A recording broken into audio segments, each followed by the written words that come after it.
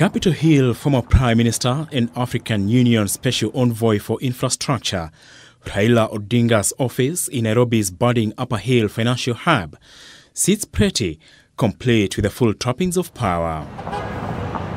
Odinga's office, now likened to Washington's Capitol Hill, the seat of the powerful US Parliament, or Amini State House, has seen a stream of cabinet secretaries trooping over the last two months, as well as hosting cabinet secretaries in his Kisumu backyard. A sign that his role in government has become elevated, making it a key office in crucial government decisions. This handshake is going to go further and further, and it is going to, when elections come and do what? Go. We know that their handshake has got a purpose, and the main purpose is unite the country.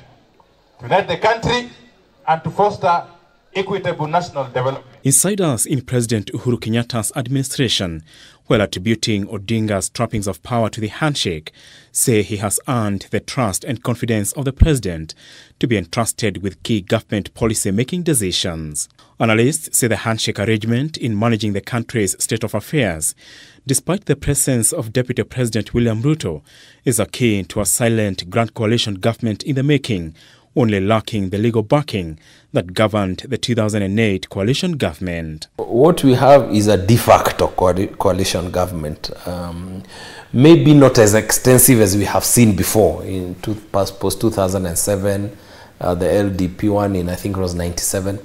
But there, there can be no question that uh, if you look at the various uh spheres that government operates, if you look at the executive, for example, I mean, you'll find, you know, ministers go to give reports on progress of work uh, to the former prime minister. In parliament, the, the ODM wing uh, is sometimes more supportive uh, of government, sometimes than certain components of Jubilee.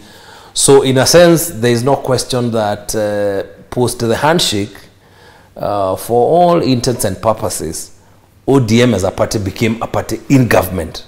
Insiders have also attributed Kenyatta's shift of trust to Odinga to his deputy's defiance on taking instructions on succession politics, war on corruption, and opposition to the Building Bridges team.